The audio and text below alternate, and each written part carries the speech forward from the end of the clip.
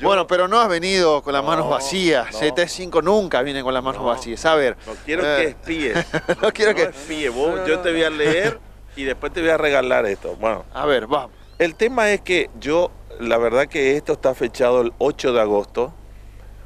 Y en realidad hace rato tengo esa idea. Y, pero ese día fue la muerte de Denini. Y entonces yo dije, ya no hay que esperar más. Yo quiero escribirle esto a Antonio y se lo voy a hacer. Hoy te voy a leer y la verdad es que es un gusto para nosotros primero que nos haya recibido y por supuesto que, que- escuches con atención esto. Vos nos hiciste un poema muy lindo que a veces me da mucha fuerza porque en este trabajo que también es lindo pero también es ingrato necesitamos esa energía a veces que, que viene de los amigos. Sí, plan, seguro, ¿no? Además, yo tengo un gran agradecimiento porque a mí no me, no me llega solamente cuando ando por ahí, sino que mis compañeros me dicen el trabajo que ustedes hacen pormenorizado, de las cosas más importantes que, que pasan en nuestra región. Y, y estábamos arrinconados hasta que aparecieron ustedes. Así que que Dios los bendiga, los cuide y les dé fuerza y alitas para seguir volando. Para seguir, porque a veces eso falta. Te leo para no para que los televidentes también sepan lo que nosotros estamos queriendo como desde T5, yo como director, pero en realidad esto es una cosa que todo el equipo de T5 está este, contento de esta carta que te voy a leer. Así que arrancamos. 8 de agosto, Corrientes, querido Antonio. Quise venir personalmente hasta tu casa aquí en La Plata para venerar en primer término el chamamé y la amistad. Siempre te lo digo, sos un grande, pero por lo que dejaste y seguirás dejando. Hoy nos dejó Nini Flores, pero gracias a Dios nos dejó, no nos dejó. Queda lo más grande que puede dejar un ser humano en esta tierra plasmó en sus obras y trabajo lo que sentía por su terruño y por su gente, por nuestra música y por nuestro chamamé. La verdad es que quisiera dejar, no quisiera dejar que pase más tiempo para decirte lo que pienso junto a mi esposa Gaby y mis hijos, quienes te quieren y valoran por lo que haces y quienes siempre supiste cautivar en nuestros encuentros.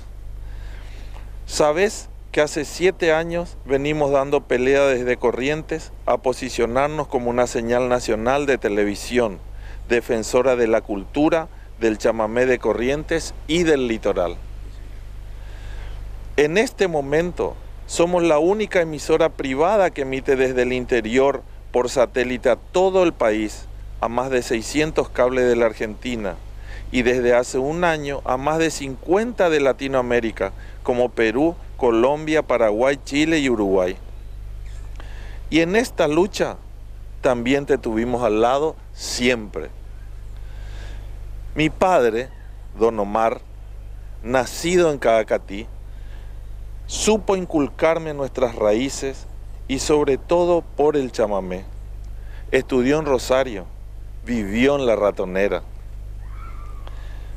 Por la calle Catamarca, casi cruce Alberdi. Amigo de don Juan Delón, comisario del frigorífico Saladillo, cacatiano de ley y respetado, quien le presentó a tu papá en el centro de residentes correntinos en Rosario. Dice, junto al doctor Galleta, porque esto es relatado por papá, El doctor Galleta, Eladio Romero, que es un estudiante crónico de medicina que terminó siendo rematador, ¿no? Pero era, decía, por ejemplo, en este recinto donde hemos ingerido volúmenes navegables de vino. Oh. Y bueno, ese era el personaje doctor Galleta, porque en realidad estudiaba medicina, pero nunca, Sí, sí. nunca recibió. Raulito Barbosa, etc. Y a partir de ese día lo acompañó por mucho tiempo en su programa de LT8 Radio Rosario a la noche. Por esta y mil razones más, me animo a pedirte formalmente a través de esta carta que fijemos una fecha para hacer un acto en nuestro edificio en la ciudad de Corrientes y podamos inaugurar nuestro nuevo estudio. Será utilizado por muchísimas producciones, noticieros, correntinos y litoraleños, el cual, si estás de acuerdo, llevará el nombre de Antonio Tarragorros.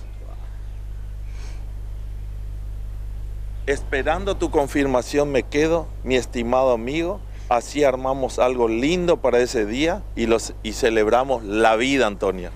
Ay, muchas gracias. Yo me corro para que. Eh. Yo nunca quise antes decirte esto porque yo quería que esto quede registrado. Esto es historia, Antonio. Es historia. Muchísimas gracias. Le agradezco muchísimo. Para mí esto significa mucho y este, ojalá sea merecedor.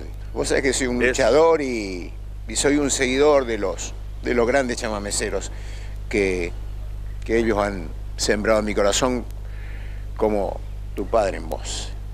Así que estemos aquí este, con, con este llanto contenido, esta emoción llena de agradecimiento, porque vos y tu obra son muy importantes para la patria y para mí, por supuesto. Sí, sí, sí. Entonces que me des este honor para mí es, es muchísimo.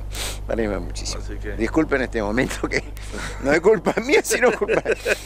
Ah, ya me- Vos el otro día te escuché, hablabas de tu papá, hablabas del cuadro que está del viejo Sí, y a veces le preguntás, claro. a veces le hablás. Sí, yo tengo que está ahí en la casa esa que Ajá. ven atrás, hay un cuadro de mi papá cuando papá era jovencito, tendría veinte y pico de años. Y cuando yo eh, juego fuerte, ¿no? Cuando yo juego fuerte, es decir, por ejemplo, me, me peleé con, le dije en una canción algo al presidente del Uruguay, que era Tabaré, ahora es otra vez, por, por- por las pasteras de Bosnia, y no toqué en el Uruguay no sé por cuánto tiempo, y lo mismo cuando me definí por estar del lado del campo. Yo sé que eso me cuesta en trabajo, en- entonces me voy frente al cuadro de mi papá y le digo, está bien así, jefe, porque yo sé que él haría eso. Claro, exacto. No, yo creo, ayer lo pensaba, vos sabés, que la dignidad, por supuesto, se sabe que no tiene precio, pero vos, vos tenés un problema mayor para la sociedad, digamos, que no vas a favor de lo que sea con tal de que, que paguen y que sea... No, no. Yo, yo te he visto, vi muchos artistas del otro lado en, en- en la anterior gestión y seguramente te habrán tentado con muchísimo dinero. Digo, él siempre siguió una línea, una conciencia y eso es lo que mantuvo. Bueno, a mí estar, estar A de la... veces atajarse en una Sí, no, tormenta. sí, sí, no, pero coherencia. Mi padre siempre fue un músico, un artista de la gente de campo y, y yo también. Entonces, si hay un conflicto, yo estoy del lado de la gente de campo, no del lado de Cargill, del lado de Monsanto, no, no, del lado del chacarero, del pequeño productor, del que trabaja, el que tiene callo en la mano. Bueno, de ese lado estoy porque la música yo de ahí viene. Entonces, ¿dónde voy a estar? Entonces, eso molestó a la an- an- anterior gestión y bueno, este, en algunas provincias estuve prohibido. Pero bueno, acá estamos. Como dijo el doctor Galleta, el, el papá del doctor Galleta se llama eh, don Cristino Romero y es el que le puso a mi papá, el rey del chamamé, en su diario se llamaba La Idea. Había estado el, maestro Aquino, que era la cuarta Ávalo, le dijeron al padre del doctor Galleta este, que había fallecido. Y bueno, entonces este lo despidió en el diario, que llegó el domingo. El lunes cae el maestro Aquino de a caballo y le dice, ¿qué tico Romero me mataste, chamigo? Y diga, ah, dice, porque me dieron mal la noticia, entonces, pero entonces todo Curuzú está esperando a ver cuándo qué decían en el diario. Entonces, el padre del doctor Galleta dice en el diario, los muertos que mata la idea gozan de buena salud. Y de ahí arrancaba el editorial. Buenísimo. Antoñito, vos sabés que nuestro tiempo es muy complicado. Estamos con, eh, transmitiendo vía satélite en vivo y estamos ahí, estamos al límite. Pero, por supuesto, primero queremos escuchar. No podemos venir a tu casa y no escuchar. O sea que ahí vamos. ¿eh? Bueno, La este- gente está expectante, ¿no? Yo Bueno. creo que va, va a estar expectante y esto es lo que le gusta, ¿viste? Un homenaje ¿Cómo a, suena eso? un homenaje a mi papá, eh, madrecita, un pedacito.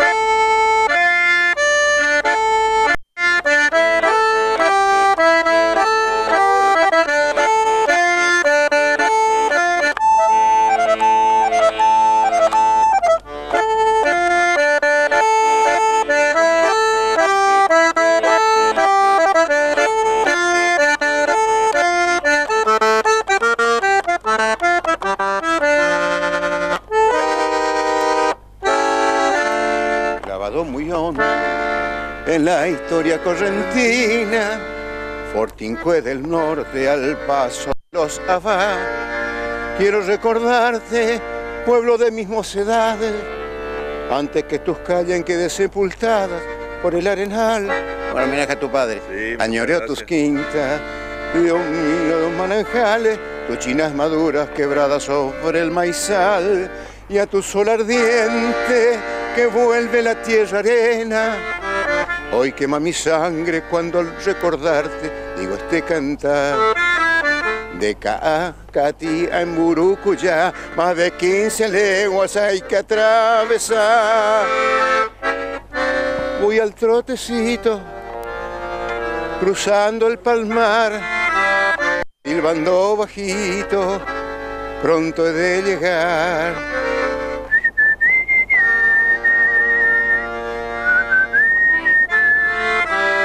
Silbando bajito, pronto he de llegar. Ayudó con el corochirechi. Qué, qué bar. Te cuento, Antonio, que se va a hacer esta, esta cabalgata ahora de Cacatí a Burucuyá, ahora dentro de poco desde Cacatí. Yo Ah. soy gente a caballo, capaz me voy. Y bueno, entonces ahora no más falta, así que para la gente. ¿Cómo estamos, Yamil? Contame. ¿Está bien? Bien, seguimos, nos dieron dos minutitos más, así que disfrutemos. Este que, le- este que le gusta mucho a la gente. A ver.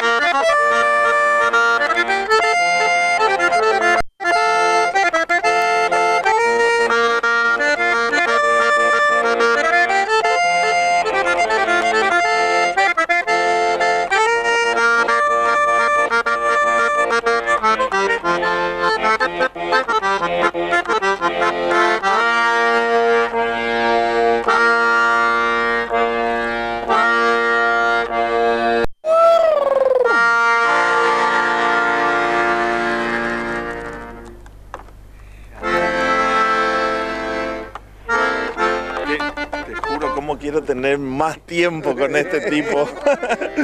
Vimos, transmitimos en vivo el homenaje a la Andricina. Ah, Luis, sos un hermano. Es una hermosura lo que Sí. dijiste vos, lo que hiciste, lo que hablaste de la nobleza del tipo. No, Luis es Sí, extraordinario. eh, Una porque persona. se hizo imágenes para la gente Sí. que si no vio, Te conté lo de la hierba ahí.